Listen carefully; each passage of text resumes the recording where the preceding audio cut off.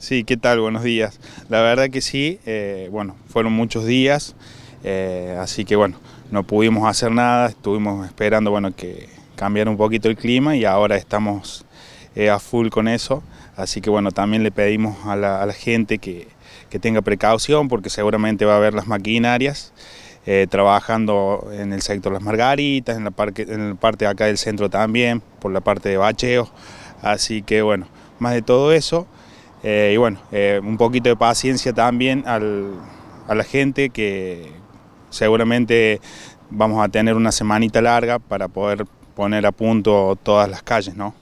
Justamente acerca del sector donde está pavimentado a raíz de la lluvia, eh, ahora después de los charcos aparecen pozos, ¿no? Se han provocado, todo esto ha provocado que se hagan pozos en el pavimento.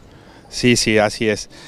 nosotros normalmente tenemos algo en la semana, pero bueno, con esto de la lluvia han aparecido más de lo previsto, así que bueno, eh, ahora estamos eh, en la parte del centro, lo que es eh, la parte acá de la plaza y las manzanas de los costados, pero bueno, vamos a tratar de intervenir lo que es todo, todo el sector del centro, ¿no?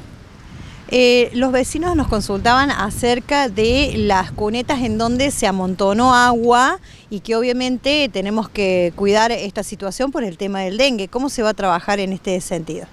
Sí, nosotros normalmente, constantemente estamos trabajando sobre eso, lo que es la parte eh, que le corresponde, la parte pública a la MUNI, lo hacemos y si vemos que en algún sector por ahí... Eh, por X motivo se junta agua o si no lo hace el vecino tratamos de también dar una mano eh, a eso, así que bueno, cualquier cosita si llegan a tener alguna duda, que la mayoría de las personas tienen mi número o de alguna de, las, de la gente de la MUNI, estamos para eso también.